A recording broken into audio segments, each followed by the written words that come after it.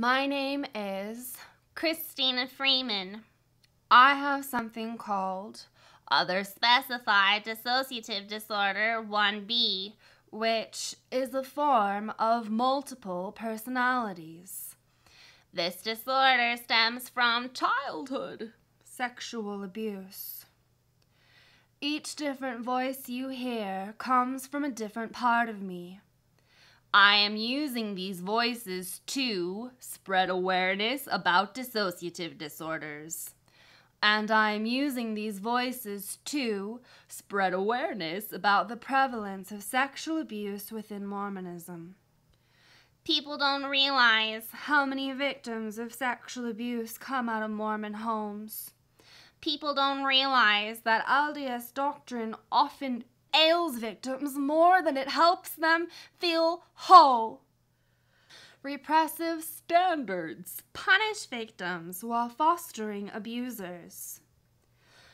Church leaders don't focus on fixing the problem. They focus on keeping control.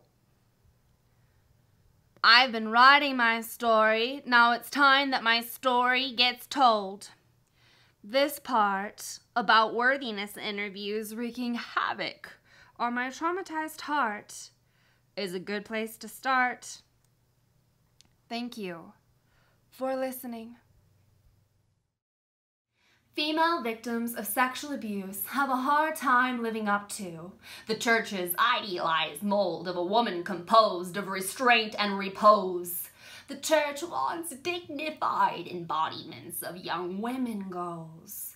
They want someone who values faith more than what she knows. They want an eternal optimist with an innocence that shows in her face. She will not be disgraced. She won't be used or demeaned when they say they want women who are virtuous. They mean women who are clean from any sexual sin. Of course, she can be forgiven, but not too much. Mormon men don't love sluts. It just isn't just. It's hard to have faith when you don't know how to trust. And you can't fake upbeat or pretend to be sweet when you feel like you're drowning in destructive despair. It should be okay to scream. It should be okay to swear. Why the fuck would God care if victims use a harsh word to lament their sad curse? When fathers play around with their little girls' bodies, it gets wired in our brain like an unforgiving chain. We are slaves!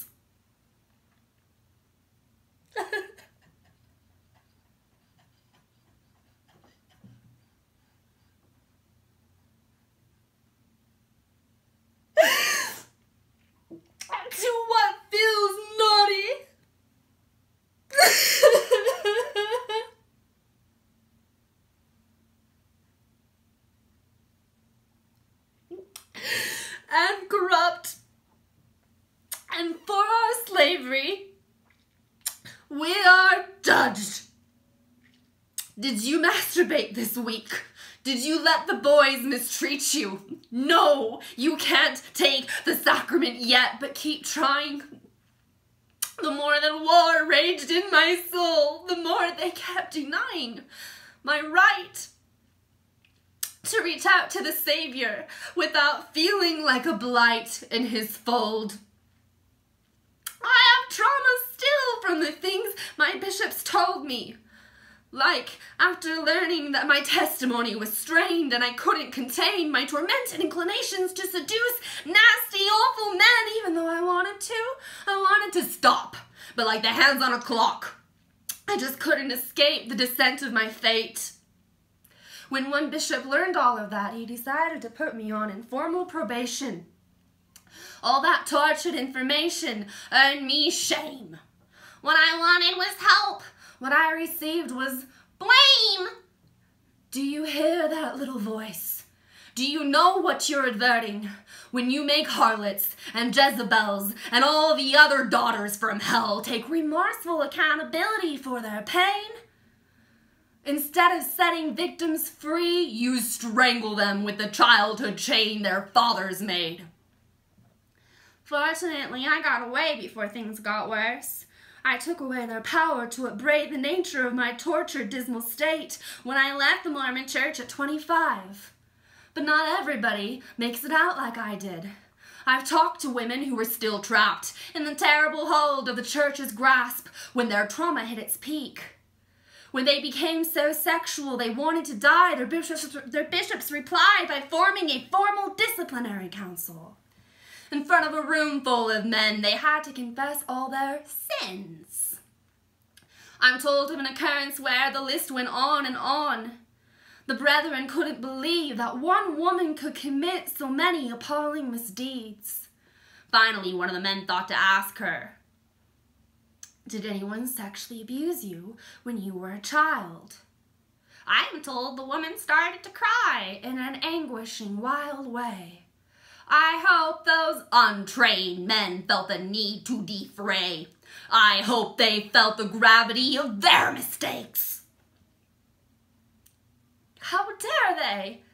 How dare they think that it's okay to magistrate, even excommunicate a person like me?